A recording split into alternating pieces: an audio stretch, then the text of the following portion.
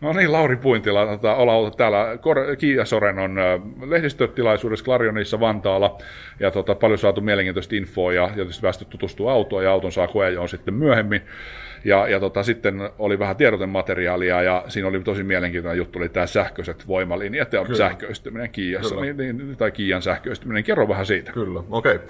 Tiivistetysti voisi sanoa näin, että Kiia tavoittelee siis globaalia jo, markkinajohtajuutta sähkö, sähköisissä ajoneuvoissa ja tavoitteena on, että vuoteen 2029 mennessä 25 prosenttia Kiian kaikista malleista olisi sähköautoja.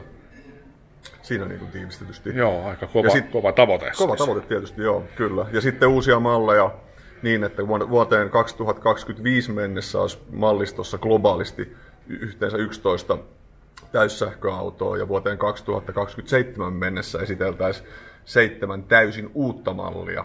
Just. Joo, tämähän tota, mielenkiintoista. Kiahan on ilmoittanut jo kauan aikaa sitten, että haluaa maailman suurin autonvalmistaja. Ää, tai, tai sanotaan, että mm. konserni haluaa olla siis yhdessä, kyllä, mutta Kia kyllä, siis osana kyllä. Hyundai ja Kia yhteistyöllä. Tota, ja nythän ollaan jo, niin onko nyt tällä hetkellä globaaleista, niin onko neljäs vai viides? Taitaa olla viides. Joo, hetkellä, joo. Niin, tota, tämähän on, tämä on tämmöistä niin boldia puhetta, että rohkeasti asetetaan tavoitteet. Miltä se tuntuu niin kuin täällä pienessä Suomessa? No, pienessä Suomessa. Siis hyvältähän se tuntuu, koska se on se on merkki siitä, että päämies on tosissaan ja koko ajan uusia malleja tulee, niin kuin esimerkiksi tämä, tänään nähty Sorento tässä, niin, ja meillä on, meillä on niin kuin sähkö, meidän nykyinen sähköinen mallisto on ihan, ihan markkinoiden, miten se voisi sanoa, siis äh, markkino, yksi markkinoiden laajimmista. Mm. Eli, eli tehdas on kyllä tosissaan ja tässä kelkassa on hyvä olla.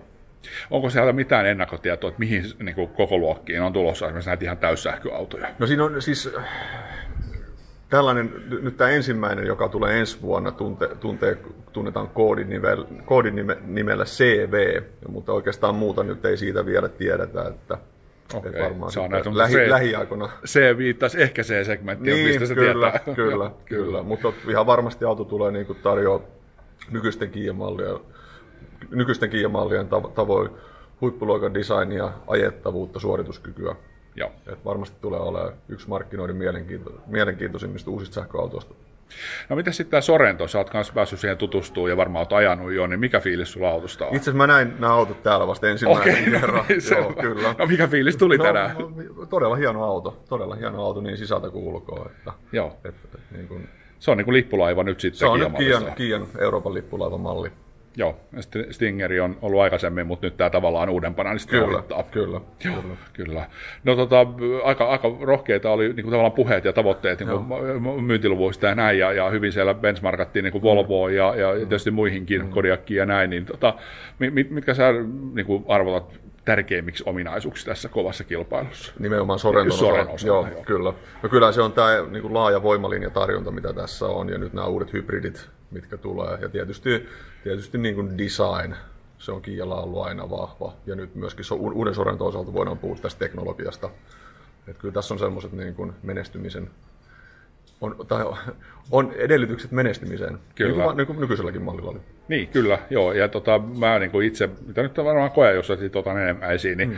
niin kuin muistaa nämä kaikki sukupuolet, kaikki on ajanut koeajanut. Kyllä. Niin tavallaan se hyppäys niin ykköset kakkoseen oli tosi iso. Sitten kyllä. vielä melkein voi sanoa, että vielä isompi hyppäys oli kakkoset kolmoseen. Ja nyt kun kävi tuossa istuun sisällä, niin, tota, niin jotenkin tuntuu, että just tämän teknologian osalta, niin tämä on aivan valtava hyppäys taas kyllä. kolmosesta neloseen. Kyllä, kyllä. Paljon uusia mukavuus- ja turvallisuusvarusteita. Että... Kyllä. Joo.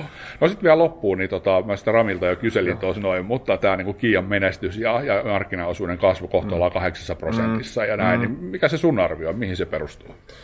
Siis kova työ tietysti ja tietysti kaikki tietää, että on tuotevetoinen ala, että meillä on huipputuotteet ja onnistuttu niiden kanssa hyvin, että ja brändi menee koko ajan kova vauhti eteenpäin, niin mä luulen, että tässä on niin ne onnistumisen avaimet ollut. Ja vielä loppuun, loppuun niin tota se brändin mielikoima, kysyin sitäkin Ramilta, niin mikä se sun mielestä on niin Suomessa? Mitä suomalaiset ajattelee? Mitä ne ajattelee Kiasta? No, no Kia on, Kia on voisi sanoa rohkea edelläkävijä tietyissä asioissa ja raikas, nuorekas, trendikäs merkki, missä on urheilullisuutta, teknologiaa, laatua. Kyllä mä sanoisin, että niihin perustuu. Aika paljon hyviä asioita. Tähän on joo, hyvä päättää. Joo, Kiitoksia hyvä. haastattelusta. Kiitos Antti.